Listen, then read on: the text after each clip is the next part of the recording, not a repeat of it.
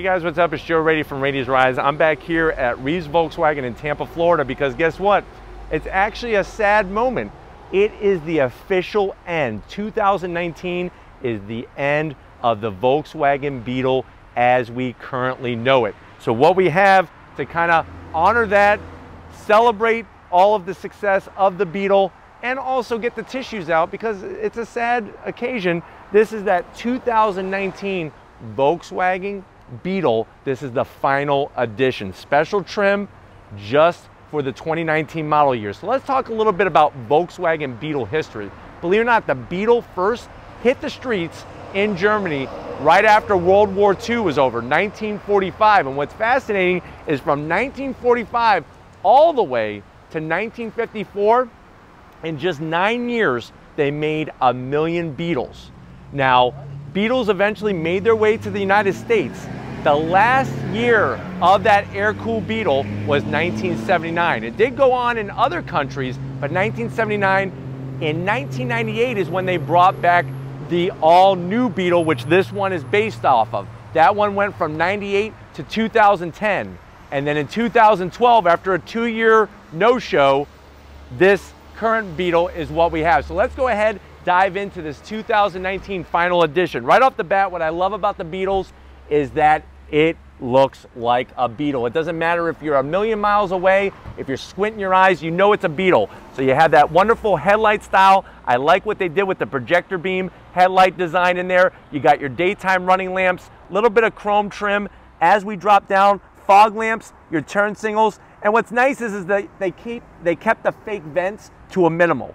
As we come across the front, there's that iconic Volkswagen logo with that familiar turn down of the hood. Remember, underneath the hood is the engine. It's not a frunk like on the original Beetles, but very clean design, and I love this color. Now, as we pop up onto the hood, very, very nice curve. I love the shape, and I love the distinctive body lines that they have on this car because it's such an iconic car. And yes, at the end of the day, does this car have 800 horsepower? Does it have all-wheel drive and twin turbos? No, but it's a Beetle. It's like if you're a car enthusiast, you could at least appreciate what this car has done for not only car culture, but also just culture overall with people. And that's the wonderful thing is that when you see these, it just brings a smile to your face.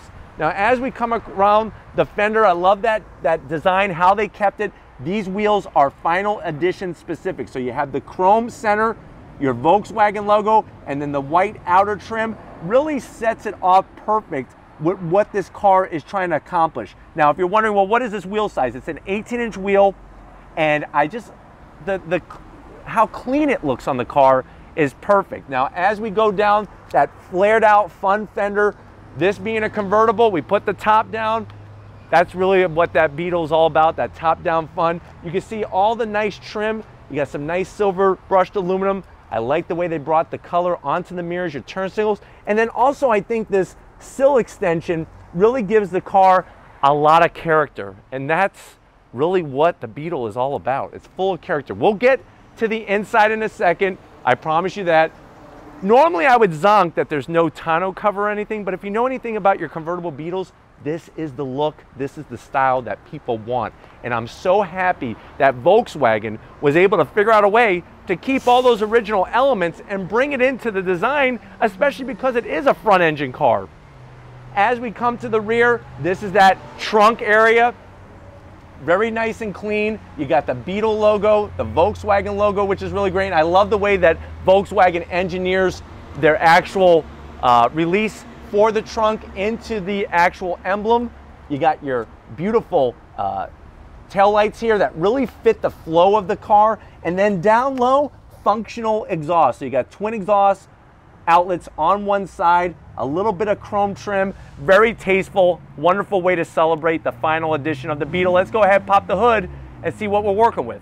All right, guys, we got the hood popped on the Beetle. What's interesting is that one of the very few Volkswagens that we've opened up the hood here at Reeves Volkswagen to, and it still has the prop rod. So I am gonna zonk that, but it does tie in, I guess, the old Beetle with the newer Beetle. Now what you're looking at underneath the hood, that is a two liter inline four turbocharged engine. You're looking at 174 horsepower, 184 pound-feet of torque. It's made it to a six-speed automatic transmission. It really bums me out that I have to zonk it that it doesn't have a manual. The car weighs in convertible form, which remember, you can get your final edition in coupe or convertible, whatever floats your boat. 26 MPGs in the city, 33 on the highway, 0 to 60. You're not going to win any drag races with this unless you're drag racing somebody on a bicycle, but 0 to 60, 7.2 seconds, quarter mile, 15.5, and a top speed of 120 miles an hour. What can I say? I think it's just a nice balance of performance. It, there are a lot slower cars out there. We know that. Front wheel drive got has the great look. Let's see what this sounds like the last time we're starting up a Beetle on Raiti's Rides. Let's go ahead and fire it up.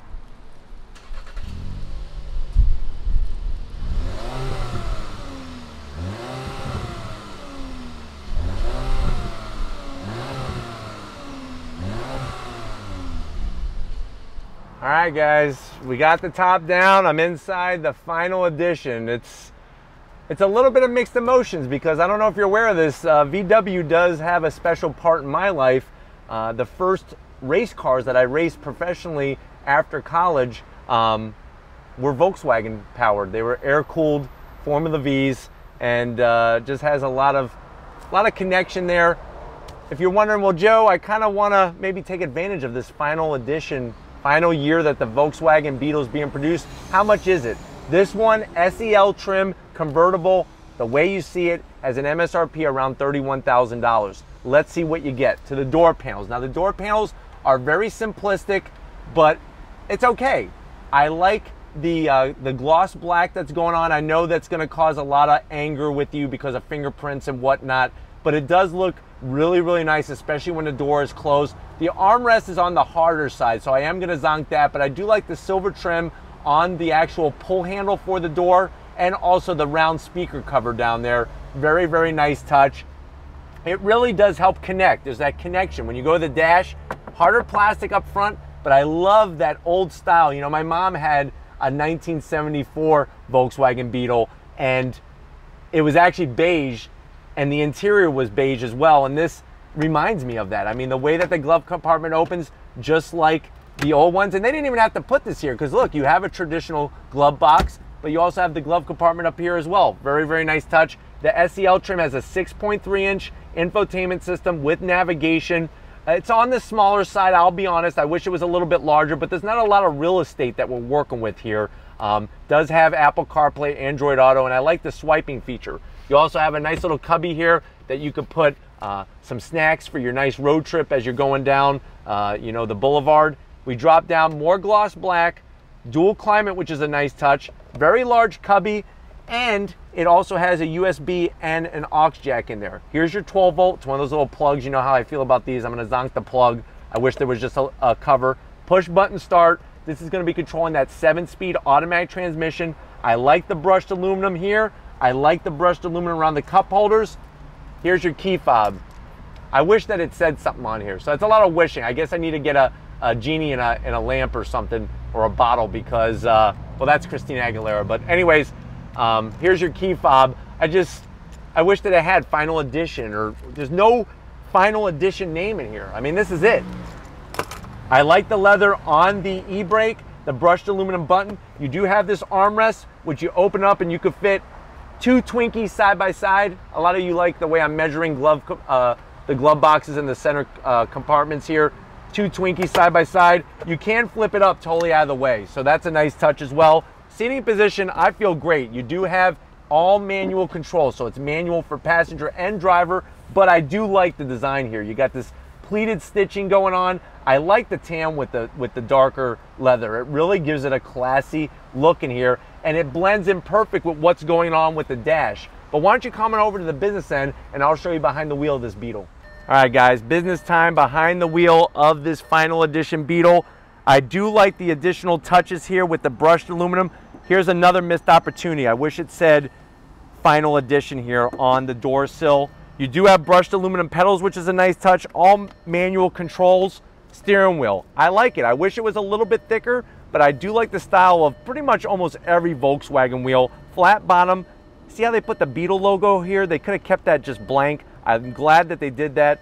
I like the flat black buttons. They're easy to operate. And then the dash makes sense. Speedometer in the center, nice and large. analog tach, analog fuel gauge, and then I do have to zonk that digital display. It is very, very dated. It looks like it's from 2012. So that is somewhere where they didn't do much updating. Let's go ahead and see how hard it is to put the top up. So I'm gonna close the door. You have your switch right here. You pull it down and guess what? The top's gonna go up. Not too bad for speed. And the nice thing is you don't have to worry about latching anything in place, which is really wonderful. You get a little bit of a chime. It's a good amount of opening, which is nice. And then once I put the top back up, the AC came back on, which is really nice. Let's see though, I know a lot of you always request, I'm answering your request. We're gonna check out the back seat. Let's go check it out. All right guys, back seat time, real easy. You're just gonna pull up, the seats, seat slides forward and then you're gonna climb on in. Actually not too bad. I mean, you're sitting very upright, but for a shorter drive down to the beach, or going for a little cruise, I think this would be real simple. You do have a 12 volt and a single cup holder. So if you have another passenger back here, you're gonna have to thumb wrestle on who gets to use the cup holder. Even some of you ask, can you pull the seat back? Yes.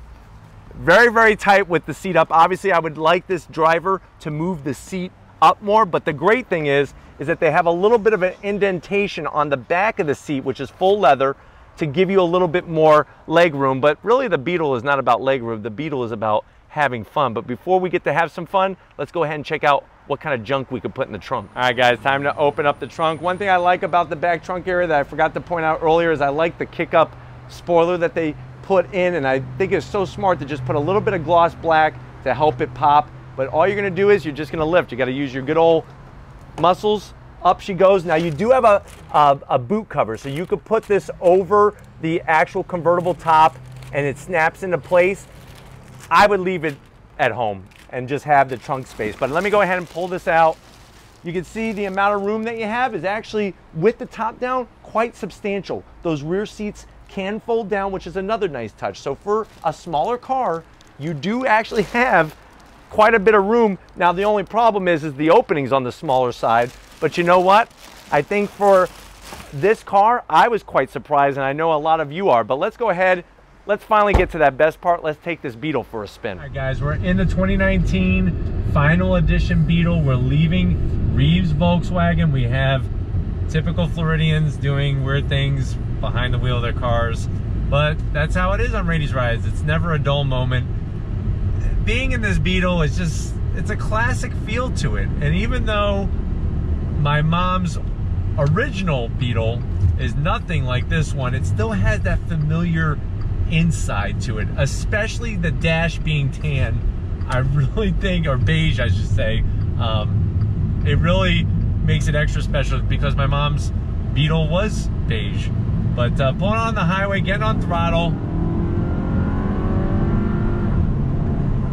you know, 0 to 67.1 seconds isn't a rocket by any means, but it's not a slouch either. It would be nice, I think it would have been really nice for the final edition if they would have dropped the GTI motor in here, 228 horsepower in a Beetle. Uh, that sounds fun to me, but um, I like the seating position. Looking out over the hood, it just curves down out of view even out the back window with the top up. We do have the top up obviously because for sound and whatnot so you can hear me very clear. Um, even the back window, and a lot of times on convertibles, the back window is like looking out of a porthole on a submarine. It actually has got great visibility out the back. Side mirrors are wonderful, and just overall, it's it's Beetle. It's it's fun, and driving on this highway, it's smooth and comfortable. So I really think that uh, you know Volkswagen got it right for sure and it's just a shame that that it's going away. Now, what I would have liked to have seen are maybe some high performance versions. I think that would have brought in some new customers and really, uh, you know, gave the car an even more aggressive look to like the fender flare and whatnot.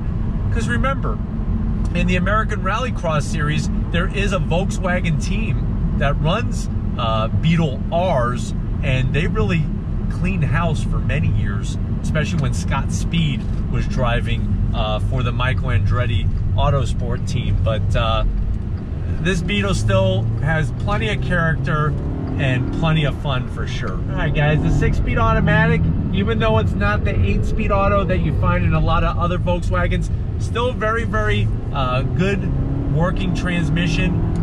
very smooth, and and it's quiet overall. You do get a nice little sound from uh, that's being piped into the interior, but I think it just has enough personality to really round off the whole experience. The dash, I wish that LED display or that digital display was more LED TFT setup to make it more clear, but uh, overall visibility of the gauges is, is a piece of cake. Driving around, it just, it's fun. Now you gotta remember, because this is a convertible, there is a little bit more body flex, and I'm noticing some creaks and rattles, but like I said, it's a convertible. Those things usually tend to happen um, when you have a, a convertible, especially a smaller one like this Beetle is. But I think if you were looking at this in a Mini, if you wanted something with personality, this has even more personality than a Mini Cooper. Uh, but the nice thing about a Mini Cooper is that you can get the S version, which gives you the extra power.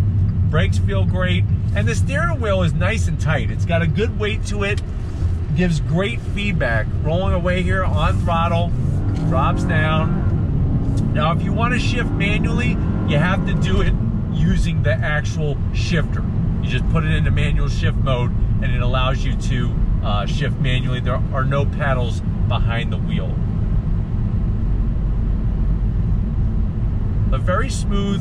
AC's working great. Would be nice to have ventilated seats, I think, also in the final edition, uh, and a larger infotainment system. But really, this car is just about having fun. And I could easily see somebody going down to the beach, top down, and having a blast with their friends.